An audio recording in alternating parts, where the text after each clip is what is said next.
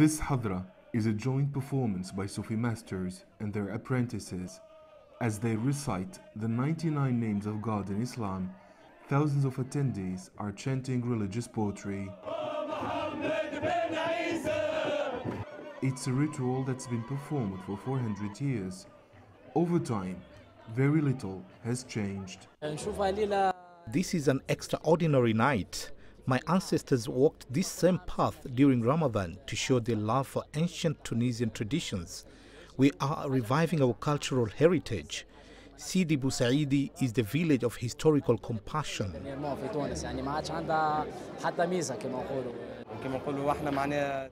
Women, children, and men are welcome.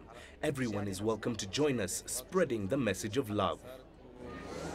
والعباد فرحانه وان شاء الله ديما تونس بخير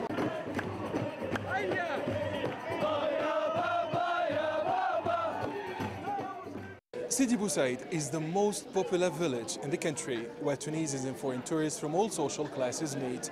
It is one of the most welcoming places in the North African country where music, arts, and dance gather people from all walks of life. Following the terror attacks in 2015, European tourists have avoided the area, but as the security situation improves, a growing number of people visit Sidi Bou Said every week. It's my first time in Tunisia, by the way. Sengart, my friend, is welcoming me. So warm today. I'm so impressed. I like so much the atmosphere and people and uh, everything. I feel like honestly, I don't feel that this is like Ramadan time or something because the people are so open and uh, I'm really impressed. The Hadra performance continues at a local mausoleum. Four years ago, extremists torched the monument. Luckily, it's since been restored as a heritage site. We are proud of Tunisia. Our country is a land of tolerance. We are united to defeat terrorism with art and culture, and we invite people to visit Sidi Bou Said and see for themselves.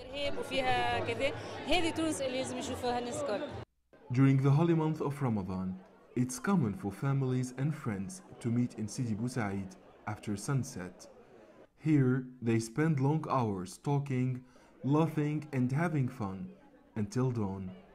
Chaouachi, Sidi Bou Said, Tunisia.